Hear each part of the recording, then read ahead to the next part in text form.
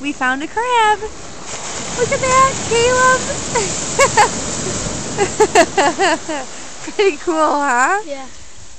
It's so pretty. You're a catfish. You're like the deadliest catch.